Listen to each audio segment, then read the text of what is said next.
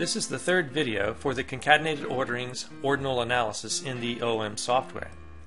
Recall from the previous two videos, we were examining these contrived data from Chapter 10 of the OOM software manual. Now for these contrived data, we have two groups of rats. We have experimental rats and we have control rats. And then we had two different predicted ordinal patterns as shown here. In the second video, we were particularly interested in exploring the classification imprecision option within the analysis. And in this video, we're going to explore several of the other options shown here. So let's switch over to the OOM software and resume our analysis of these data. Before returning to the concatenated orderings ordinal analysis, let's examine the deep structure of these data once again. So we'll select the Define Orderings button and recall from the previous video that I had arbitrarily defined the units of observation here in terms of three bar presses. So the first unit is 0, 1, and 2. The second unit is 3, 4, and 5. The third unit is 6, 7, 8, and so forth. Now it's up to you how you define your units of observation, of course, but ideally you'll want that decision to be based on a complete theoretical understanding of exactly what your numbers mean. But my goal here is to show you how the ordinal analysis will change depending upon whether you're analyzing the data as they're shown in the data edit window or analyzing these deep structures. So let's close this window and return to the ordinal analysis. Now before doing so I'm going to toggle the deep structures so we can see the deep structure values here.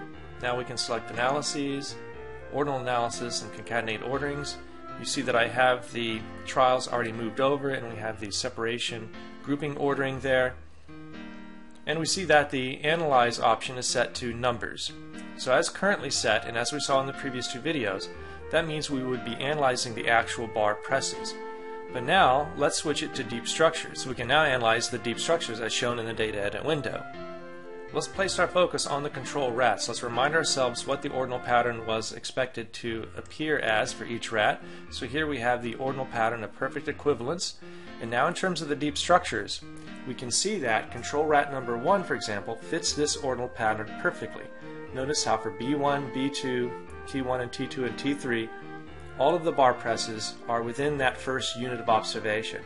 Control rat number 2 fits almost perfectly except for T3, where you see the bar press is 3 to 5, whereas for the other trials it was 0 to 2. Then we have a missing case here for uh, T2, or missing observation rather for T2.